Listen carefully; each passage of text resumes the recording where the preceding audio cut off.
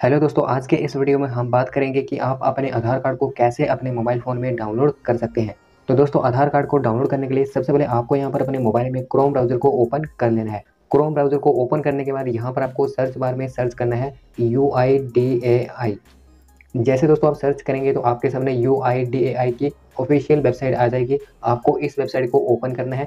Open करने के बाद ये वेबसाइट इस तरह से ओपन हो जाएगी। उसके बाद दोस्तों आपको यहाँ पर नीचे की साइड में स्क्रॉल करना है। जैसे दोस्तों नीचे स्क्रॉल करेंगे, यहाँ पर आपको एक ऑप्शन मिल जाएगा डाउनलोड आधार। आपको यहाँ पर डाउनलोड आधार में क्लिक करना है। उसके बाद यहाँ पर आपको लॉगिन का जो ऑप्शन है वो यहाँ पर आपको मिल जाएगा। अब यहाँ पर आपको लॉगिन के ऑप्शन पे क्लिक करना है।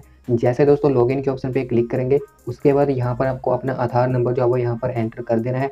उसके बाद ये जो कैप्चर कोड है, वो आपको यहाँ पर एंटर करना है। उसके बाद यहाँ पर आपको सेंड ओ के ऑप्शन पर क्लिक कर देना है। जैसे दोस्तों सेंड ओ के ऊपर क्लिक करेंगे, आपके आधार कार्ड के साथ जो भी मोबाइल नंबर लिंक होगा, उस मोबाइल नंबर पर एक ओटीपी जाएगा। उस ओटीपी को आपको यहाँ पर एंटर करना है। ओ को एंटर करने के बाद यहाँ पर आपको लॉगिन के ऑप्शन पे क्लिक करना है। जैसे दोस्तों लॉगिन के ऑप्शन पे क्लिक करेंगे, अब दोस्तों यहाँ पर आपको डाउनलोड आधार का जो ऑप्शन है वो यहाँ पर आपको मिल जाएगा। अब यहाँ पर आपको डाउनलोड आधार के ऑप्शन पे क्लिक करना है। जैसे दोस्तों क्लिक करेंगे, उसके बाद आपके सामने इस तरह का इंटरफेस आ जाएगा। अब दोस्तों आपको सिंपली यहाँ पर डाउनलोड के ऑप्शन पे क्लिक करना है।